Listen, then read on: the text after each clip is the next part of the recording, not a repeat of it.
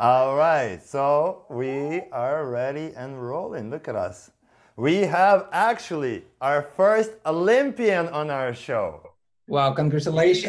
We have Monique Kavelaars herself here. Uh, Good job. obviously, oh, Hello, hello.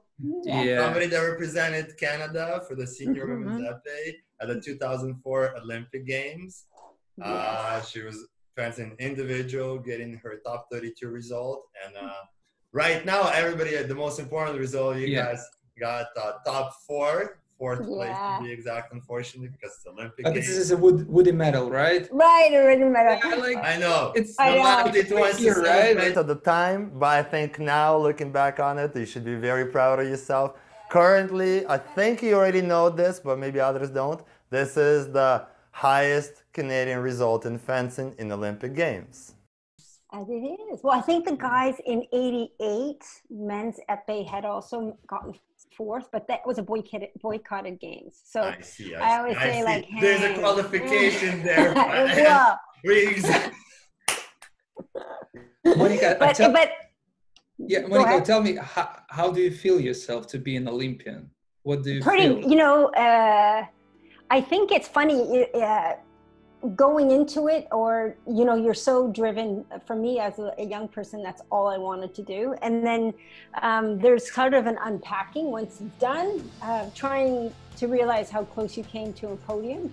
Um, in normal World Cup situations, there's you know, in individual you tie or on the podium together, and I was like, Yeah. dang, I wish they would have done that. so, um, but yeah, it, I think it um, it's like kind of I would liken it to somebody who's gotten a PhD. You know, you put a lot of work into it, and it's a dissertation on the end of your of your uh, you know resume of something that you've accomplished that is a loaded. It's it, it has a lot of weight.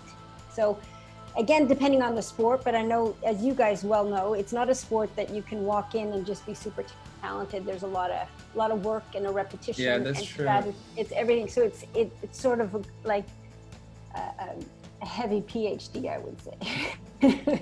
wow. Yeah. No, that's We- that's the dream, right?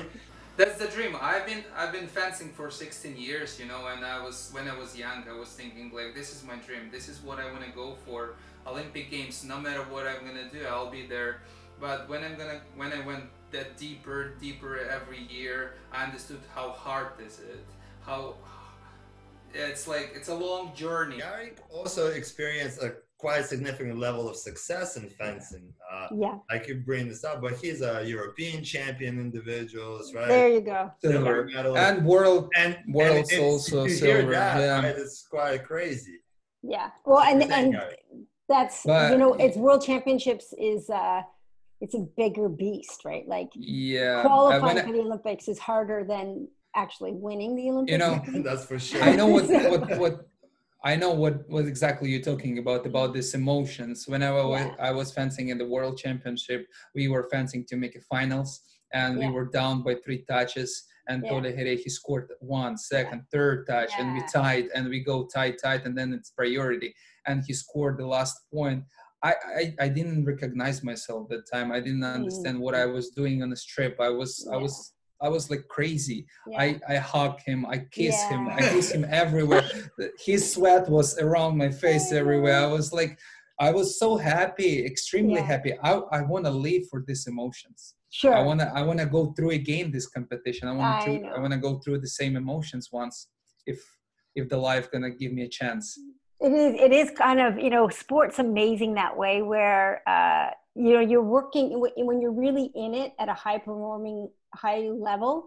Um, there's things you don't think about because you're just so focused on the details and what has to be done rather than when you're younger and you're like oh this is hard. You're not thinking it's hard because it's just what you got to do to get there.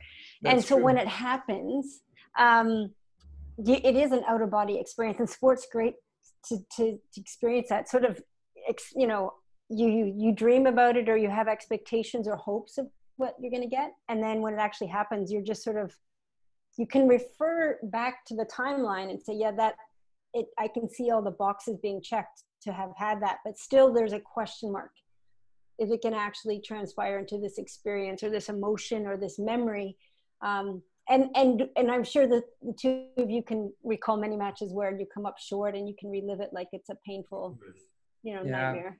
Yeah, that's true. like, a lot ah. of people a lot of thinking a lot of people thinking that it's too hard it's a really hard journey but they never look behind they never look what they've done already there is the huge the huge the back what they've done Yeah. already Yeah. but they looking at the look for looking forward and looking oh it's too hard it's too far away this goes too far away but they never look behind and it's hard too because the path in front doesn't isn't very clear and the path behind you've sort of seen Yeah, it happen and you're like okay and you take for granted like well let's let's ask ourselves like what would you have said two years earlier? Would would you have expected it's sort of it there's a little like you know you have to kind of mentally make sure there's an acknowledgement of that especially with your coaches and your teams and your traveling um, because the experience as a whole is pretty awesome like Yeah. I found I, I found you know traveling the world with my best friends, uh, that's you know, living, live, going to cities, and then actually having to accomplish something when you're there, and then go checking out the city. Like, uh, you know, I think it's my husband would say to me, he was a professional hockey player, and he would go, "Oh gosh, you know, like." There's a smaller group of you, and he goes, "So you don't get paid much?" I'm like, "No, we don't get paid at all." it's not about money probably. No, and he it's goes, about their environment right? It's know. environment to be at right? "Yeah," to and he would say, every day.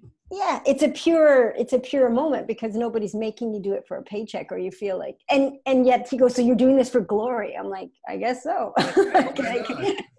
Why I not? think Well, let's uh, start talking about your uncertain path, as you mentioned, and uh, we're obviously going to lead up and getting into Olympic Games. Uh, I know a little bit the fact that we mentioned, Yarik mentioned journey. You took quite a journey. So talk to us about how did you end up bouncing like through across like various parts of the world just to get there, and that uncertainty that you were talking, because nobody's guaranteed that golden ticket right? How does one stay in a sport and not say, you know? So let's go. Talk to us about that. i started in modern pentathlon and Ooh, I didn't know. and I, I yeah so i was you know 96 i saw that women's epee didn't get into the women's epee did 96 get into oh. 19 i'm a bit older. So Uh, 96 I, women's I, epee I got couldn't in. recognize it. You're very kind. I'll pay you later. So uh, but the women's epic got in and pentathlon had said you know yeah there's a chance we're going to get in at 2000 and i was already saying you know that's a risk i can't take. I really want to go to the olympics. And i could start to recognize that i was enjoying coming off And training. how old are you at that point in time? I'm going to say i was Every day is 18s. Every day. Yeah. you know what? We know that. Whatever the age she says that right now, that's what the age we're rolling through for the rest of the show. Oh, yeah, okay, there we go. I, in '96, let's see, I was, uh, I, I, gosh, what am I? I'm gonna be, I'm gonna be 25, 24. I was Perfect. older. Oh, So you- I was only fencing, pentathlon fencing, which you guys know is like I was just gonna one hit, say, like, one hit wonder. You know, I'm good at a few moves. I'm fast, so I'm getting the job done. I got one touch. This is like I'm a rock star. And then I Yeah. fence with fencers, and I'm like, wow, these these matches are long. And, yeah, And- yeah, that's true. and what Especially in Epee. and why isn't this working anymore i do this and it works all the time and now it's not working and and so i I- you know i was a bit na- naive that way but so I, I jumped off and said i'm just going to fence. I, w- I could see i was enjoying it more. And then so you got You chose the, you chose the harder way, right? Uh, yeah i came in really late. I walked in as a smiling canadian pentathlete like hey girls i'm going to fence. And i could see the girls in the at that generation were a little like like who are you and who do you think you are? And they're like yes yes yes. And i was like oh. So i recognized very early on that it's not like when you look at track and field and you see pentathletes on the on the track they're By the way, I am totally getting inspired right now. I'm like, okay, she started at 25, just started to fence. I'm 30-ish. I, I, oh I wanna I wanna go back to fencing. I'm 31. Listen, Continue, There continue. you guys you could do it yeah, yeah. I have a son. He has uh, two kids. I, You know, uh, we have to support our families. I, obviously. that, So that, that's in this what I- point, is it's impossible right now, and- and especially fun in to say that, US. yeah yeah well and that's the point is like Yeah. what i started to realize that i wanted to go down that path made the national team we did um I think uh, 98 we did 99 we did Pan Am Games came s- beat US had a silver medal beat lost to Cuba. So it was it was it was sort of like hey we can actually qualify in our zone here. Did didn't qualify in Sydney but did go to Sydney Olympics because I was working with the Toronto Olympic bid. So that was an amazing experience because I got, to experience Olympics without the pressure. Sherraine, my best friend, my teammate, um, she was competing, watched her compete, and then she had approached through a contact from her coach, said, "Hey, Daniel Levavasseur was was uh, kind of opening up. He had, I think, some spots. Laura Flessel was sort of moving on from him as a coach, and And she this- had asked And at this point in time, you've only been actually into fencing. uh, five years, five years. Five years. Uh, sorry for interrupting you, but can you tell me about uh, Daniel a little bit more? Uh, What did he? I will. I'll get you there. Yeah, so he, okay. So he, We're so gonna go back. Yeah. yeah so so Thanks. Sherraine asked him if she we, if she could train with him and literally she asked him and he said okay. And my head popped out from behind her and said can i come too? So- and he Nice. looked and was like okay fine you can come too. So i went to we like pretty much i had to come home and, and raise a lot of money pay off debts and spent about a year just getting my stuff together. Sherraine left a little earlier and i think three months i left to also just sold everything. And to your point like doing that? I moved to Paris, got a little apartment. Um, my family thought I was nuts. I was 31, guys, 31, and saying, I'm going for it. Because the, the thing that always drove me was, you know, I'm going to sit back and say, you know, I wondered uh, what would have happened, or I, I wish I had, you know, what would have happened if I had tried.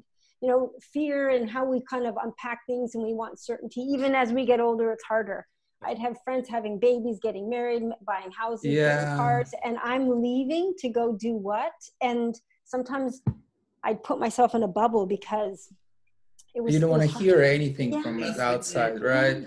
And that's single what, and leaving. And I'm like, what am I doing? that's what our kids, the young generation, should know. Never, it's never late. It's never late to start. No. It's never late to And continue. it's good for us No. to know that too. Yeah. Yeah. Well, I think what's also true is if you have a I, one thing I could feel when I transitioned out is that I, I had a lot of grit, as in I I may not have been the most talented person, but I was going to outwork you. Mhm. Wow. Like if if I we would do physical training sessions with some of the girls in, in fencing at the time, and I remember being like, All You know, as a go. coach- as a coach- no, I can do this. As a coach, I prefer more hard work people than Yeah. talented. Talent can, it's like a bubble. Yeah. You can explode. Th- th- That's it. And then nothing happens nothing happens and the grit is the element where if you fall you're going to get back up and and you're not getting uncomfortable getting uncomfortable like That's true. it's it is learning like even our kids now they go for runs or they do little things physically and it's like your mind gets to decide a lot of stuff and you either are a victim to it or you're in charge of it so it's just recognizing oh this is uncomfortable I, I am much more of an external kind of extrinsic motivator. So when I see other people I'm competing with suffering, I go, okay, let's go. Let's see if I can make, I'm going to try to not look like I'm in pain either. So there's a game being played, right? Like, I know that's a little harsh. but Monica, when- uh, tell, tell us uh, how many years you've been in fencing? It's like I uh, fenced for 15. 15 Uh, years. Yeah. So I started really late, 17, because I wanted to do pentathlon. And then I changed over at 24. 15 then- years. So uh, you, you're supposed to be very disciplined person, right? And- Yes, absolutely. Yeah, like self-driven, self-driven. Your coach can't make you want it. Your mom and dad Yeah. can't make you want it. Like uh, at the end of the day, if you're not like a little nuts, a little like nuts in a good way, in that Yeah. nothing's Yep. gonna deter you. Like I, I can understand people can. You're also truly serving like your desire. You're going after. it. You're making sure you're not leaving anything on the table at the end of it, Yeah. right? like and and I I can say that there may be some people in my generation that said, "Wow, you know, I could have made it," and I'm like, "Yeah, you could have." So you desperately, you? like, you desperately believe in your achievements, right? yeah or, or just or and also I, I you know Sherraine was incredibly an incredible teammate incredible friend. I'm watching someone my sh- by my shoulder who uh, i see and train with every day who also is showing up with the same commitment and is winning. And I say, well, if I can beat her in training and she's winning at a World Cup, why can't I? So I really am a big believer on in finding your tribe and, and getting your herd, like the herd of people you're training with, like the culture's got to be good. And sometimes it's not good, and you may need to decide to change that.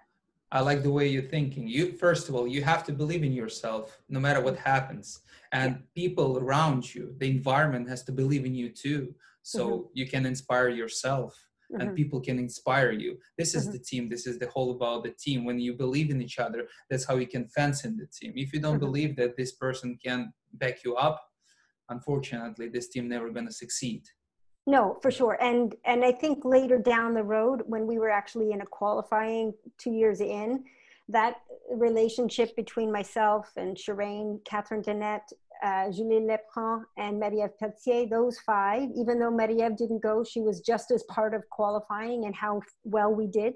Even though we don't, she doesn't have that on her resume, she is just as much a part of that. And we lived and trained together for two years Wow. in that circumstance. So you are so at this point in time we're circling back. You know, we're like a, trying to make a Quentin Tarantino type of movie, flash back and forth. So okay, so now you're in Paris uh, in a small apartment. How's that process looking? How's that training process looking? um, training process was Here also. it was a bit different where first it has to be it has to go without mention that there's no way i could have stepped into paris and this is not trying to hand out compliments but peter ho changed it for me. Like he was the guy i had for eight years and he was also rather new to Probably one of the smartest individuals I've ever met by none. You know, and what i liked about him is he would be like i remember feeling as i walked in he taught me through osmosis like if you don't show up like if, if i see you ready to go and doing your workout i'm not going to create language to say good job he's just like okay monique you're ready where everybody else would go well, well i would have been here first yeah but you're not you're not doing anything to show me that you're ready like That's if you're not Don't tell me that you're proud that you won some little local competition when there's fencers that are trying to win world championships. Like, don't. yeah that's and he Yeah. And he was also very much like if you're going to work hard i'll work hard but if you're not going to work hard i'm not going to really waste my time Mhm. and so that was like i can understand that i'm in so of course. um, Coaches with- also see that. Yeah. Coaches also see that when the person put the efforts, a- athletes putting in the efforts in the bout or in the lesson, and and the coach the same way, Mhm. the same way. He putting the pressure the same. But if if you being lazy, you late every time for Ah. your lessons. Come on, I- I- you have guys see that this. and and Yeah. every coach does it it's like that's true. I- you know every, I, I can see it in my kids activities and i say this to them all the time like you know the expression is oh you're being a tryhard i'm like you know what your dad and i were tryhards and uh, i'm sorry like, wait, I'm sorry. he so made the you have nhl and i went to the olympics it's like Right. we're it, it's not a it's not a, a bad thing you know there's you, You gotta know- be socially smart but You, Monica, the best example for your kids with your Monique. with your husband. Wow I Monique, know, sorry, they- they- Monique. Get this name right there- because it's yeah. That's all important. good. It's very important. My bad. Sorry. uh, you're the best example for your kids and with your husband. That's that's uh, that's a long journey from being an athlete and accomplishing your goals. So the people, your kids should know who you are and who, who you become it's true. training the hard. example yeah the example needs to be there but i think what's a challenge is that what's different in our kids generation is there's so much high intensity um, like rep programs. There's a volume that these kids get so they're not getting multidisciplined in different sports to try different things because you, you they're not able to. They get streamlined so early. And and the parents want it just as much as the kids where when we grew up my parents would be like okay so where am i taking you? Like they had really no investment and so it really came from an internal drive rather than uh, oh there's a approval i'm getting because i'm doing well or that i'm doing this. And that's and and and my parents my husband and i we really try really hard not to be crazy but we love it so much that we're like okay wait a minute right this has got to come from them if they want to do this even though i really like going to watch them play in their sport so What yeah. they do? But now, What they do? uh, our daughter's a, s- she likes to swim she's a competitive swimmer so she's a grinder a gritter she's well before COVID, swimming, you know, five, six days a week. And then, which is, and she's 13, which I feel like is a lot, but that's the sport. And then the little guy's hockey. So, uh, Yeah. and I was, and I was always thinking, I wonder if Tim would ever come out to Burlington to start a club. But uh, and we will definitely discuss more of that, okay. Monique. I'm in. I'm I, in. I was looking forward to it actually just before the quarantine came in. But again, and I don't mean to a stickler, but you know, I would love to learn more now that you have that mentality that definitely Peter Ho has instilled into you. Uh, you know, how is it looking training in France?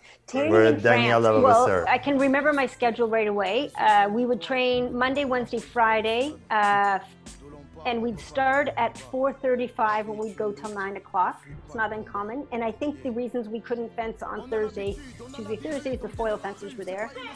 The volume was high. We'd get a lesson. I'd come in. Sherraine was always first. She'd get her lesson 45 minutes. I'd get my lesson, and I remember not speaking French very well, and I was still using a pistol grip, and I did that for about nine months, and then I realized with the, you know, Sherraine was fencing pistol, I was fencing with a fence master who was really good at pistol, and I was like, all right, I'm my parry part's not going to be so good, and here I go. it's like Yeah, that's I'm going to be offensive. And the the the lessons were. Um, I remember feeling uh, perfection's going to be is always it's it's never good enough, which you kind of got to get used to, and you realize that okay, that's I, I want it to look right and feel right and be right, and so there's always a demand, like a dancer, almost like do it right, do it right again, again. Um, not a lot of praise if it goes well. Um, so you can't be somebody who's looking for pats on the back. Um, Daniel, I remember one time wearing a heart monitor just to sort of see, and you'd, you'd have your lesson, and there'd be some days where you know, like you didn't know when it was going to be like this, he but I remember tracking looking. right? He was. uh, Yeah, I would look at my heart monitor and going, "Does that say say 200 beats per minute?" Yeah, yeah, yeah. I'm going to die Wow. that was that was the intensity i think what i noticed I, I came into that with a little bit of an injury on my hamstring i thought uh, you know it's gonna Monique, for how long? For how long that lessons was? the lesson would be 30 to 45 minutes high intensity Intense less, yeah. intense Wow. and it would be three days a week so that i get that every every practice but then what started this was in january i remember starting in january with him and then once the season sort of started to end because i came mid-season um, in the summer then it was just a different he one thing that was really awesome is he was being now approached by the international fencing federation to go kind of abroad and and coach coaches how to coach Yeah, he was beginning to get recognized as one of the best right around that time. It took a long time, but Sure. So this is like back in two, 2002, and I remember by that point uh, I had shifted, I think, eight months into to to just a pistol grip, and then he was getting invited to these. Okay, we're going to Brazil, and we're going to Beijing, um, and he would be, well, I need people to demonstrate with. So he would take Sherraine and I. So we got, we would go into the belly of the beast, like we'd be sitting in like Beijing, going, "Oh my gosh, we're gonna train with the Chinese." Yeah. and then we, we would do like these camps where he would just be giving all the info like training the trainers and then in the yeah. evening the deal Master was class. yeah Wow. master class and then he would say okay uh, now the girls got to go train but then the girls on the chinese team at the time would go oh i got, a, I got an injury oh, i can't Yeah, they don't want. and I was like, "Oh." From, But they would from go- Chinese team? yeah From and- but Chinese Chinese I'll team. change Sherraine because Sherraine was really really good so like yeah we want to take a peek at that test and yet Okay. with me I'd be like what about me and they're like nah. so, so but i mean it was it was fun because you you were doing a lot of observation you were so immersed in it this is like five six hour days we did it in brazil we did it in china we did it in canada we got back here um and so Tight schedule, right? wow. yeah it was it, that intensity And that's was- all just for the like these master classes presentations. yeah But how not do you, including the how did you- yeah, but how did you feel after this kind of schedule? Did you have know- a break or free time to enjoy yourself or something like that?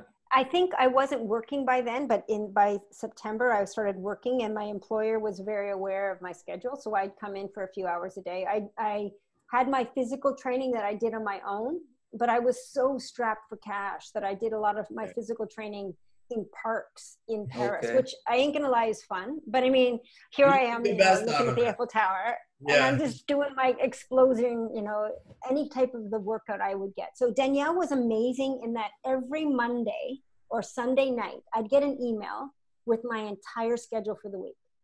He So was, it was planning your schedule, or he Everything. had So- yeah, cool. No, he would. He was like I. I still have the binder where every mo- every Sunday night I'd get an email and it would be Monday. This is it. This is our lesson. This is what we're gonna do. Mhm. Now sometimes we'd go into it and we our lesson would be different. Like it wouldn't Wow. it wouldn't happen. But I would be we're gonna work on this this this. So I had a little bit of an idea, but it, I knew that if things in the lesson I didn't But also after a while, you already know kind of the mistake perhaps you're making that he's emphasized. So you already know that like for next two or three months, we're basically working on that. For example, feint disengage, and that's it. You know. and then we would get like a breakdown of what we would do in matches at practice so you're going to do like you know three five fives you're going to do a one minute overtime or like and it would be broken down that way. Then tuesday and thursday i'd be given my physical training and sometimes there'd be physical training on a wednesday or a friday. Mhm. we'd get the weekends off but this was just only at the beginning. And then when things started getting closer to the olympics our uh, you know weekends once the season hit it was at one point like the volume that we did was one thing I think as in North America that we missed that the volume was so high and the the caliber was so high. So as a as a Canadian coming into a World Cup or even like some of the French circuits that you didn't get that level. So you would just be like smacked in the face and then you'd fly You home after fencing two right weeks. away. Okay. you're fencing all you guys get it. You're fence the volume like you're doing this tournament this tournament. At one point i think our our, our team the girls on the team catherine and julie and Maria, they were coming over to europe because daniel started to decide hey uh, maybe i can be the national coach for these guys Yeah. um, and as a result of that, they were traveling and doing a lot of training camps with us in France. And I could feel that our national, like our the team's national like motto was "Don't Yeah. think about it." Like if you Yeah, yeah, think about how hard and heavy this is, it's you're just gonna crumble. So we were just like he would make a demand, and we were like, "Ah, okay, whatever, just do it. Don't." Don't think about it. don't even, don't question it. Just do it. So the volume, and I think it made us you know, there was a moment where you sort of look at your competitors uh, or you're at a World Cup and you would see within your group Mhm. that you would look to your competitors and your other countries and nations and you'd go, you guys, yeah, okay, yeah, you're good, but you don't know what we've just been through. So get out of my way. it's Yeah, like there was There's a level of confidence. I tell these to my kids all the time, not just kids, students in general, where it's like, technically, if you have super good technique, yes, that will help you a lot to score. But you may have an opponent against you that their technique may actually be a little off, but their level of confidence is levels above you. That it's just gonna always work for them and it will not work for you. It's always you gotta be able to match both, right? And that's what you're talking about. You just went through hell and back, and when you're coming back fencing anybody, it's like you have this, you know, hard shell on you now. It's like I'm Don't. I'm just coming now to do my job. yeah you're physically so you know you've been through a lot and i i wouldn't have wanted it any other way. And you can look at a competitor. Sometimes i would i would look at the girls that were coming from or the women that i'd fence against in cuba and i'd recognize that there was such intensity because this meant more than just fencing a match. I was like these ladies are trying to survive. Like i i i'd off wow like that that's intimidating. That's like this girl's going to take me out because i am in the way of something greater than just a win for her. So Yeah. how do i compete with that? So it's true like that confidence but also knowing we say this all the time you know if you know you haven't cheated or cut corners or made an excuse or made it you know gotten uncomfortable and you're choosing to just continue to lean in and say all right I, i'm i'm gonna you not you know cower or, or take a step and then it changes how you walk into this onto the strip you, you can you, you can see it the confidence comes from there it's your past experience it's how hard you worked and prepared for sure So, how are you actually? How are you on the strip? Um, Maybe we can actually. Not very fast. No, that's what- a. First of all, that's a lot I fenced not so long ago. It's not. Let's not get too far away.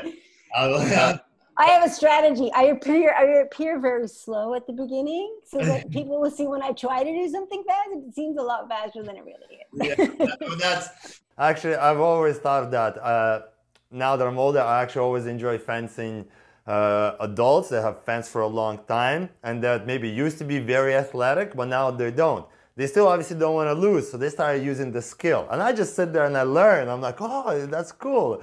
That's very cool.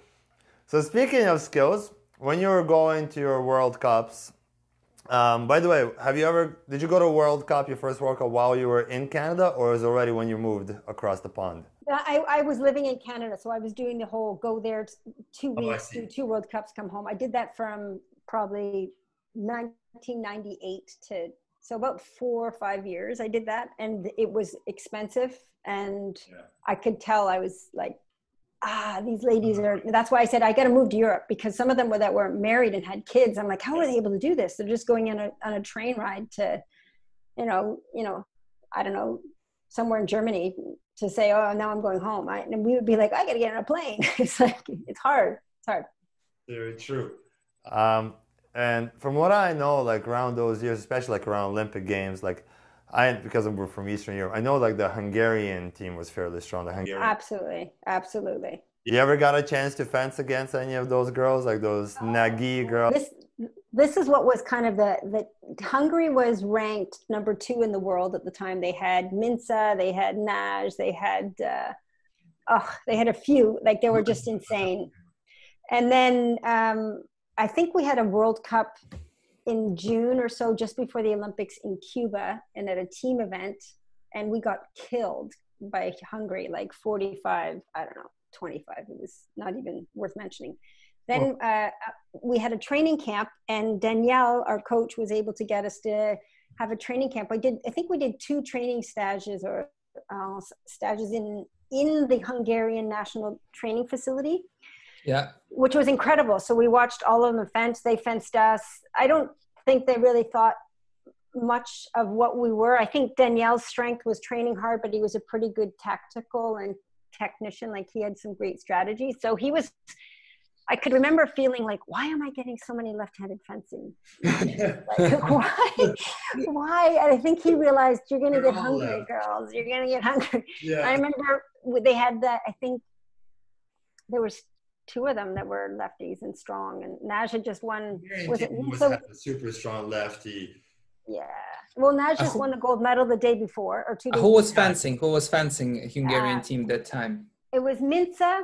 It was Nagy who won gold, and Mincza came bron- had bronze two days earlier, and then there was. Um, oh, I know. I can see their faces. Oh my gosh, I'm drawing a I blank. remember there was Nagy, right? Nike, yep, right. And then there was uh really, oh my gosh, I, I we chat all the time. Not all the time, but I see her on the. Szász? Uh, no, Szász was just uh, she wasn't on the team then, but she was. I would train with her at the national facility, but it, she wasn't in there yet. But I could tell, holy cow, this girl's a lefty. Yeah. She's a bullet. like I'm in trouble. so, so, but when we were fencing at the Olympic Games, we got them uh, first round, and and that was the big kind of what? Because we Yeah. had moments throughout our year qualifying where we beat Russia once or twice, and people were like, "What?" Yeah, yeah, yeah. That was a surprise. and then us was out of the mix so we realized we were qualifying and then we'd never gotten cracked and i I- i think what happened was the, the year before the olympics we had beaten uh, russia and we had um, we hadn't we'd lost to france. So every country in the top four like france russia uh, italy hungary they, we were we beat italy at a world cup team event in hungary. And so there was there were certain things that were like what was happening is I think other countries are starting to recognize okay Daniel's doing something with this team and Yeah. now don't don't take them as a walkover because there's something You guys were up to notch in your training. You were no longer in this Canadian bubble. You were definitely. Oh. and I think we also had a pretty good process where you would fence I know I did it individually as an athlete and I think it was being done on a higher level with our coaching staff which was every I would write. I have a book where I'd write every match down, and I would dissect what happened in the match. Yes. Even in in period one, two, and three, um, when things would go, just so I could. So, learn what was- were some of your tactical then approaches when you know you're going up against this Hungarian team or any like the French girls or anything like? What were your Monique Kavelaars some go-to tactics, like the anchors that you were sticking to? Okay, the anchor was always review what you did last time. Yeah. like I had a, I had books and said okay, and and when I feel like I could, I we didn't have iPhones to video and review performances, right? Like we couldn't, it, we had to, and I think that practice created a language for myself to recognize. So I, and also Daniel was very aware. So fencing in Hungary, I knew Nagy uh, was, you know, she was pushing me. I, I know that I would always require, you know, this, Tim, I, I if I'm going to get you to stop, I have a French grip. I want bigger distance. I'm not getting it because you're coming in as a, as a lefty with a pistol grip and you're really good defensively and you can take my blade. So I would often, my, one of my strategies was people would say this, okay, watch out, Monique's gonna hit you in the knee. yeah, Because yeah, I'm yeah. gonna make you want, like, I'm not gonna go so low to get myself in trouble, but I'm gonna go low enough that I'm gonna, my timing and tempo would try to get you to be a bit flat footed. And, right. and that would just create uh, an awareness for them to not try to get too, too Too close. And, I- close. and, and I, and I would often start with that and it wouldn't be And that's it's a great tool for control, right? You're just mitigating your opponent by doing that. You're making sure they could never really be, get comfortable, and then you can play off of that. Beautiful. And I think often when when you do a lot of absence of blade or when you had a French grip and you're trying not to get in their blender sort of thing, um, one thing that I, I could say that I was strong at was just uh, you know doing a lot of attack into preparation, uh, being per- very accurate with the tip and just looking at the hand. And again, if I could land. Uh, start to get ahead of the game and, and see the knee or the hand or the ta- attack into preparation, then I, I would sway the balance in my end Mhm. because then they're thinking and they're hesitating, and then I have more opportunity to, to try other things. Um, Yeah. So that's sort of how I would always. And like, would you say, and by the sounds of it, I think yes. Like, were you conscientious in about when you feel that I'm either unable to dictate to your opponent, or when you start to feel like, oh, she's beginning to like bite on everything? absolutely Abs- well, well bite on everything and then it's at that level no one's you know i can't recall i don't want to say this with 100% certainty but at that level nobody's going to get slaughtered No, of like course. you, you, That's- you're not at that that level you're the never only statement on my part. but I mean, at training, you would think, oh, okay, even your own teammates who you know so well, if you're really good, you're never going to get a slaughter. And if they are, then, you know, they're giving up or they're like, like there's a part of you that knows it should be that ugly and that tight. And you need to get comfortable being uncomfortable. I think Yeah. my struggle was always just staying calm in those moments, Yeah. especially in the third period, trying to really recognize that it's going to be your mind sort of mm-hmm.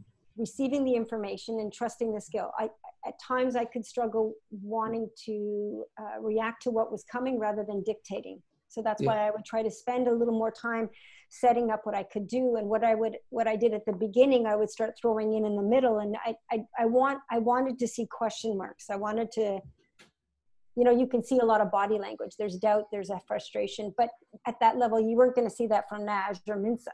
It'd be like, okay, But so Monique, uh, Monique, I was uh, I wanted to ask you, like, you were fencing at the uh, Olympic Games 2004, right? mhm. But there was there's supposed to be Olympic Games in 2020, right? It's been like 16 years. Do you see fencing changing, or interest- Great. yeah. or fencers are fencing in the same way, the same approach? What do you In- think? Uh, it's interesting because uh, Natalie Moellhausen was uh, when they were here for Pan Am Games in 2000. Was it 18?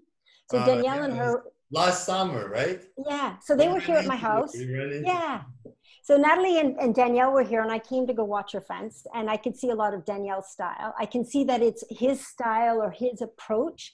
I'm finding myself watching it and going, "Wow, there's a lot more French grips."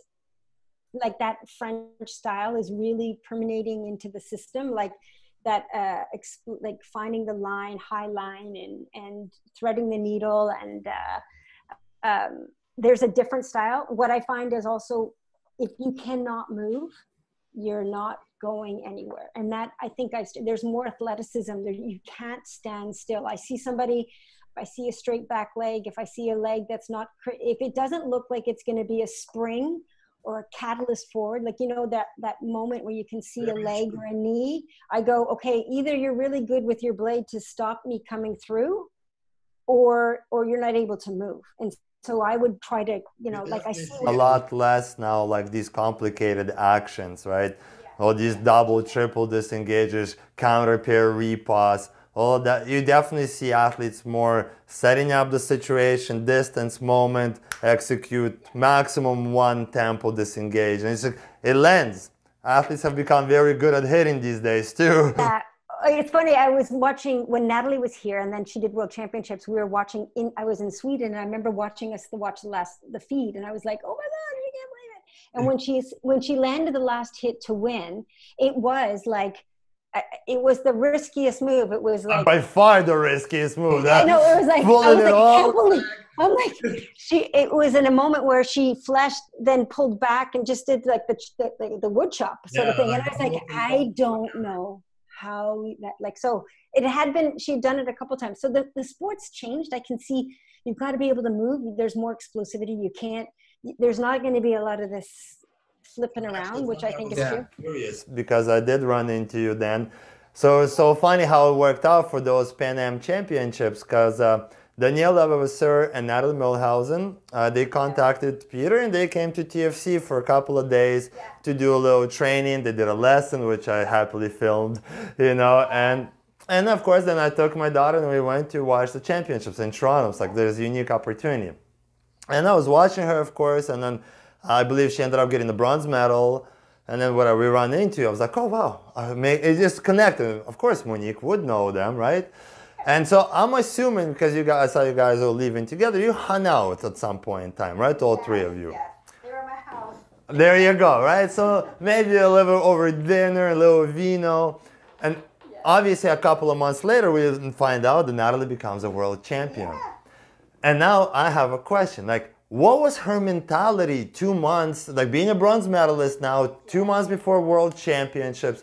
I know she has also a tough, like, personal story. That's something she's been pretty open about from what I've seen. But, like, what was her mentality? Like, was she expecting to win? What was she driven? Like, if you care to share and if that's okay. I, I, think some of my observations was I didn't. Natalie had a pro, when I first met Natalie. I, I, she was fencing when I was fencing, and she was still in Italy competing for Italy. I remember her asking me at a training camp that I went to in Italy just before I retired, saying, "What's Daniel like?" So she was still quite young and and you know had a style. This time around, there was uh, a, a, woman who um, was very focused, mm-hmm. uh, incredible shape, disciplined, yes, her, mentally and physically. Like yeah, she um, and I, would even say there was a lot of uh, mindfulness in where she would spend her energy in her mind. Mm-hmm. Like she wasn't going to waste her time being negative. Like there, anything's possible. And and I think that's her message to herself and what she's presenting to others is like really. I can't believe I did it, but I can believe it because that's what I really wanted. And it's really a matter of what you put your mind to. So I think what I could see was a, a, a, person who was very clear on what she wanted to achieve, but was aware that if it didn't happen, her qualify at that point it was like if I can qualify before January, I'm I'm golden.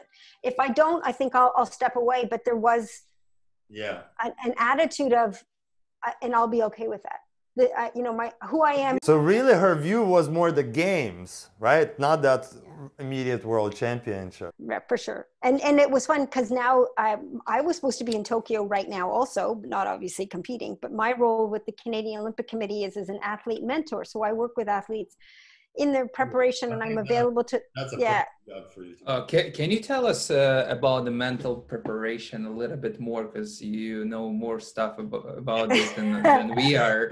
So for, yeah. because we are struggling. You know?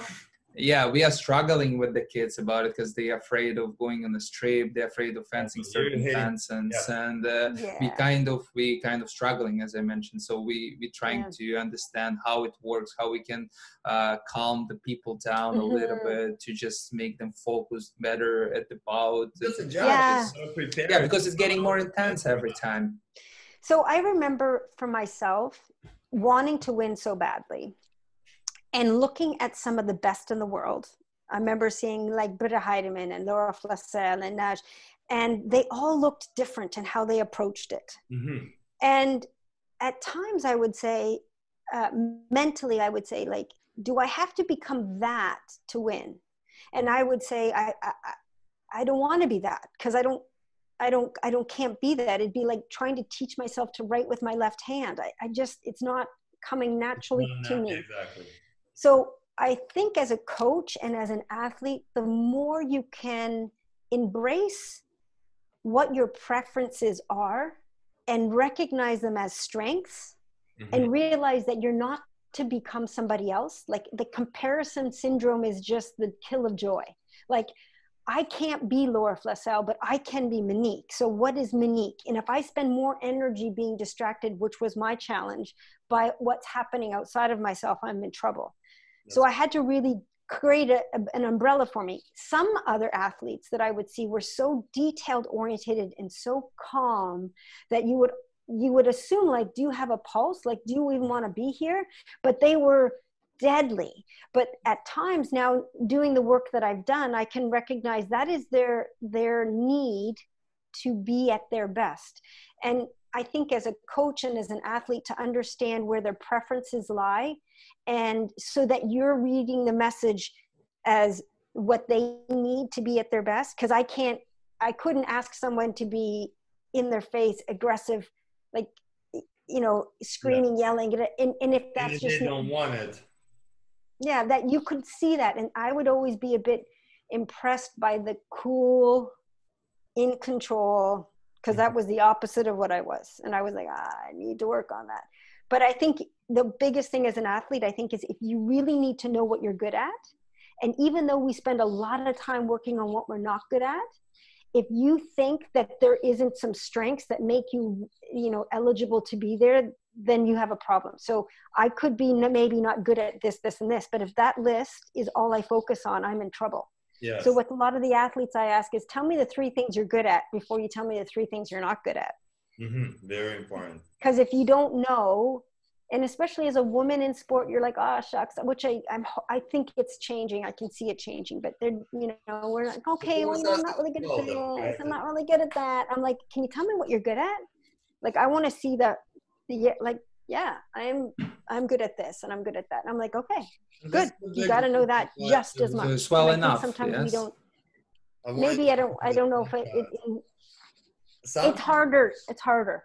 Yeah, and something maybe you could help us. Uh, I, as a coach, have noticed I do struggle with sometimes to deliver that positive belief, right? That positive thought into an athlete. And uh, whatever, I try different approaches. And also, along the lines of that, sometimes it's difficult to deliver just like a message that has a tactical and a technical component, whatever. Like, again, the, a simple feint disengage, but upon a fencer always knows in the lesson when to do uh, how to do a feint disengage, but then to translate it into the bout is not always there, right? Well, I guess what was the best way for you? What was the coaching style that you felt like you approach? You can hear them, right? Because sometimes I notice you can say feint disengage. Student can't do it. You do, you know, fake this way, go around that way. They don't do. But at some point in time, you find this key phrase. They're like, "Oh, I get it. Why didn't you say it like that?" Have you? know, you know, I wish they all had operation manuals. You know, this is this is the other one. I could tell for myself with Peter Ho, um, and I don't know if it was because he was new to Canada at the time, but he spoke in a way to me. He used a lot of analogies. It's, I, I would joke. This day. It's, it's to the same. He's like, it is like the water lily who flies Oh. from the. like I'd be like, oh, okay, I get that. Yeah, totally makes would- sense. So Yeah, he imagery, would- eh? imagery for me, but and I don't know if we were just dumb lucky, um, but that made sense to me. And and I know that Heather uh, Landymore was training and Tanya Tigerson were training, and I'm not sure how it was for them or what his language was to them, but that it, it I understood that. And I think the toughest job that you guys have is realizing that they're all different. Yeah. And, and we and, and in the work I do, we do like a lot of assessment tools on personality type, and that helps define okay, uh, this person really wants data, and this person really wants to make sure that it's understood, and you better come in with a clear argument. Mm-hmm. Um, whereas other one want to be inspired and motivated and feel like the idea and there's a bigger cause. So and and that means my message is going to have to come in differently even though that it is the same boiled down it's it's who they are is is hardest work for you guys and i think as an athlete as you get older understanding who you are um, and not feeling like it's a shortcoming but it's a strength. The students the students are all all they are different. So uh, that's why we have to find a different approach to all of them. Mm-hmm. as you mentioned some of them needs to be motivated inspired. Yep. some of them needs to just simple hug or some some yep. support or the other stuff. So we have to find a way how we can just knock their head a little bit i know. It's hard too especially when you lose like yeah when you're dealing with someone's loss like you know how much room do they need? Or you know sometimes i would i would hear the self-talk of myself like it was like okay well like that's not going to get you anywhere. Like you're gonna or the you gotta you sit in it a bit and then you got to move on and create a little space. And um, i think it's the responsibility of the athlete to sort of try to figure that out. And the coaches i think can help them sort of figure out who they are knowing that you know that you can I, I really i've heard this recently like your your biggest strength can also be your biggest weakness. If mm-hmm. you don't if you don't sort of assess um, how it's serving you. So recognize i'm good at this but i have some holes or gaps in my my plan mentally and physically and so i need to fill them in but yeah. All right so let's get back more to a fun note actually. You know oh come on you know for all. Um, so, Olympics, you know, you're there. You know, uh, how was it? Like, again, my, my dream, Yarik's dream, you lived it, let us live vicariously through you. Opening ceremonies, how is the athlete situation to live there? The competitive juices. I know, it's pretty, it, it's pretty uh, uh, surreal. Um, again, I went to Sydney and I wasn't in the village, so I really was able to sort of be a little calmer in that experience mm-hmm. because I had already been through an Olympics. So even though I didn't have the pressure, and so this time around I had an expectation. The opening ceremonies, all of that is just mind blowing. It's exciting. I have filming of it. Uh, my sister, who's a, an actor and kind of like an art, she edited. I read on Wikipedia. Wikipedia has a lot of interesting facts that if you want to share with our viewers, you can go ahead. There's something to be proud of there. something to be very she, proud of. She did. She did a great job. So that was fun. But as soon as the job got down to like, okay, opening ceremonies are done. We're competing in three days or something like yeah, that. You, uh, you know, there was a schedule.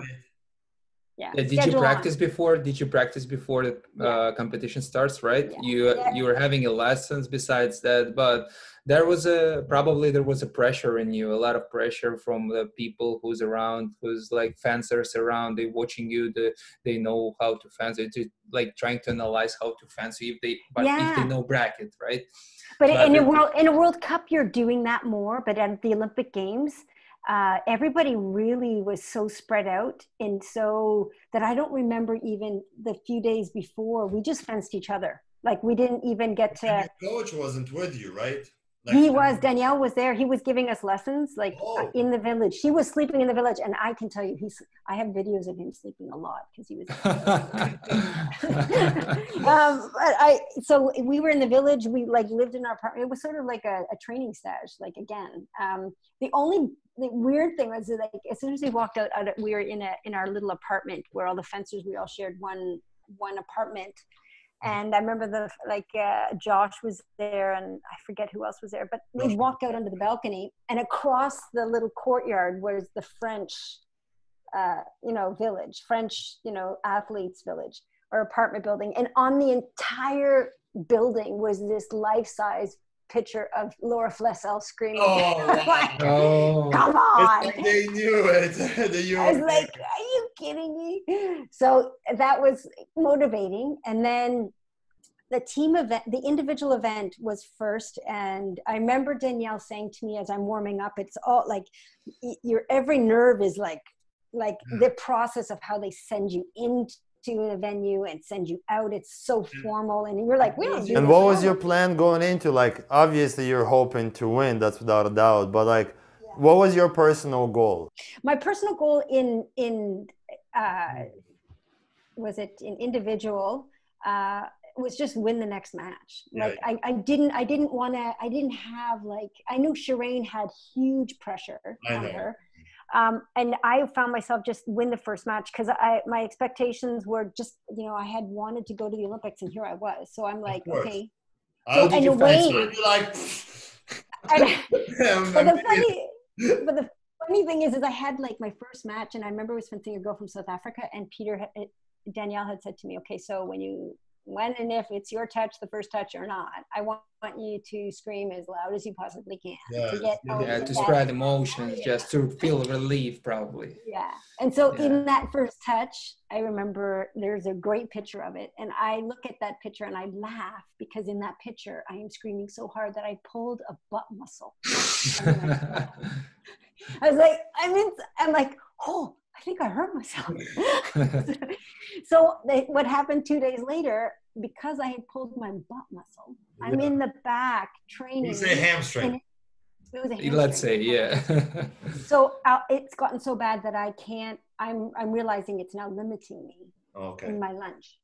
And so I called the, the I, we with the medical were there. There, it's incredible. Every need or want or whatever, I have one of my toenails popping off, and I'm realizing I got a pulled hamstring. Finally, feeling like a professional athlete, right? Like the way it should have been done. Like, I wish that would be like that all throughout, right? For us. Uh, yeah, I know. It would have been. It, it's, it's weird because you're looking at why am I getting so much help here? Like this is bizarre. I don't normally get this. Well, So you're special. That's why. yeah, now you're special. but then I remember about half an hour before fencing my first team event, we were all the you're behind the barricade and you're warming up, and I realized I need something done to this hamstring because I'm about to fence. And so the medical said, okay, we'll freeze it.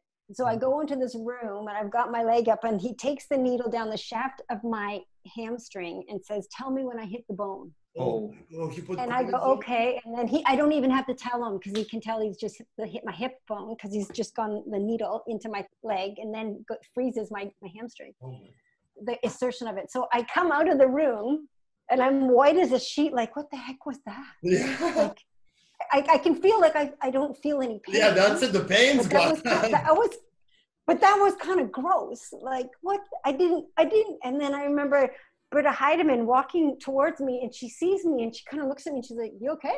And I'm like, "Yeah, I'm fine." Because apparently I lost all the blood in my face. I'm like I looked like I was gonna pass out. But it, it was fine. So that was kind of a fun little thing. And then we start warming up, and we then fence uh, Hungary, which, uh, we, yeah, this that It's just okay. blew They're my a tough mind. team. They're some of the best fencers. tough team. But the harder thing was, I think, where we all kind of ah, is then we fenced. Our match went so long that our turnaround to do the semifinal was against Russia. That our turnaround was literally five minutes. Yeah. Who you were fencing for the bronze medal, guys? Um, we fenced France in the bronze France. medal. Oh, So, but we, but with Russia, we were down going to the, the last period. It was Sherraine and Logunova, and they were tied 35 35. And if so, whoever came out of that match was going to get a medal. Yeah, so we that's lost. the thing. That was the medal. That She one was couldn't- like, 'Cause I, I remember handing the cord to prep. Sherraine, going, "Good luck." Like, and she was trying to be like intense, but you could tell Tatiana and Sherraine were both kind of pooping their pants. but you were behind her, right? So you you saw that she couldn't tough, handle the right? pressure, right? so Well- you saw her fencing. well, she handled the pressure she well, was- but she just Yeah. was like, she knew what the responsibility that was being placed on her, and um, it was hard. Like I looked at it, I was like, "Dang!" Like But- in the moment, you're not thinking about it, but then Tatiana and her were both wisely being very cautious to sort of how it was, and then. If, if you know Tatiana Logunova, Yeah, she I know has her. fenced one I, I can tell you she's done it to me and she's done it to many many fencers that she will score one touch and then she'll stand there and just say okay now it's your turn. And she'll s- literally just wait. She Like she it's- good at she good it's an arrogant move. Yeah she plays that game a lot. And i was like okay so she walked into that with Sherraine and, and it happened where she landed the first one and then just said okay now you got to come get me. So You know, Monica, it's it's uh, you know, Monica, it's a very interesting journey. It's like it's incredible life. I'm I'm, I'm a little bit jealous because uh, I A didn't. jealous for me. Yeah, yeah. I didn't have a chance to, No, I'm to sure go to did. Olympics, but, but you did I wish one of my students can do it. And uh, we appreciate that you were being problem. with us. Really, it's uh, it's an amazing an amazing talk, no, and worries. you're an amazing person.